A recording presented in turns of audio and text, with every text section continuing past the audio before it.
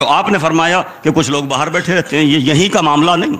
यहाँ तो मैं देख रहा हूँ कि माशाल्लाह सब लोग तशीफ फरमाए। बाज़ जगहों पर बस चंद लोग फर्श अज़ा पर बैठे हैं, कुछ बाहर खड़े हैं।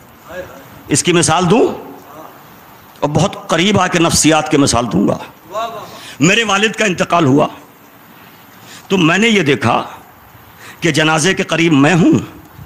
मेरे भाई हैं, मेरी बहनें हैं, मेरी वालदा हैं जो मेरे करीबी अज़ीज़ हैं, जो करीब हैं, ख़ानदान वाले हैं कुनबे वाले हैं, कबीले वाले हैं, वो जो करीब थे, रिश्तों से करीब थे, वो जनाजे के करीब थे।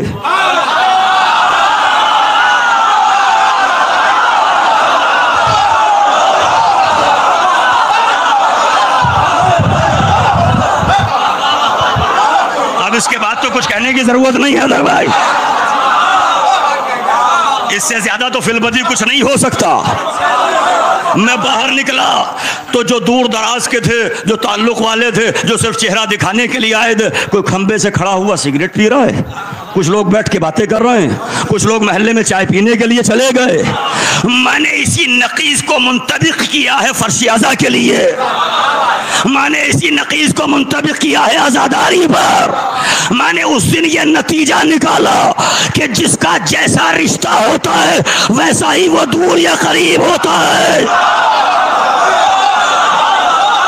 हुसैन से जिसका रिश्ता दूर का है, वो मजलिस में दूर होता है, जिसका करीब का है, वो करीब आ जाता है।